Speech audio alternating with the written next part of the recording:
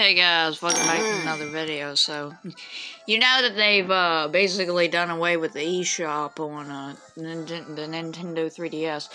So, it might not be too long before they even get rid of Street Pass Mii Plaza. I mean, come on, man, seriously? Like, genuinely, I like the eShop. I didn't really get too much on the eShop at first. It was only, like, the past six months I've been really getting stuff on the eShop, but it's just sad. I mean, like, genuinely, I haven't met a person, an actual, like, real person in years on this thing, but genuinely, it's just like, there's my old account over there, the old 3DS account.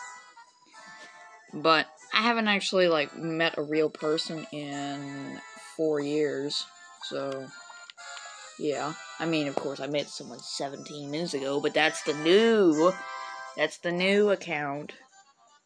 Would it be? Yeah.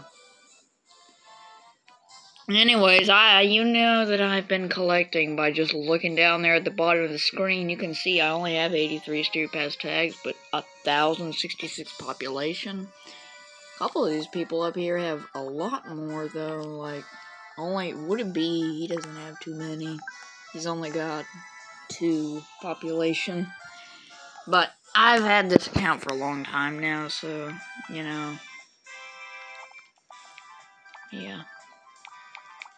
The original account, it had, uh, it had only 104 population. I mean, 104 tags, 142 population, but that's outdated way outdated. A Couple of these people though on here that genuinely I don't even know how you literally look at that. A 2000 street pass tags and the population's only 992.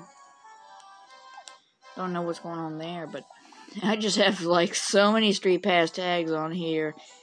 Just literally some most of these are from Mario Kart 7. You know, from years ago. There we go, we're into three years ago already. But, yeah, you know. It's just like, all these memories and everything, you know, they stick with you.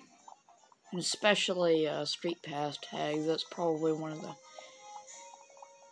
best things that stick with your memories if you uh, have a whole bunch of street pass tags you know the ones like at the top at the bottom everything people in the middle kind of not really but still just going all through here and everything, it just brings me back memories of four years ago and other stuff like that. When Mario Kart 7 was actually popular, like now, like no one plays on it anymore.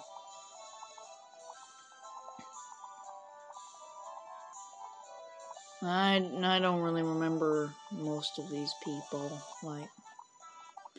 Anyways, that's gonna wrap it up for this video. Video.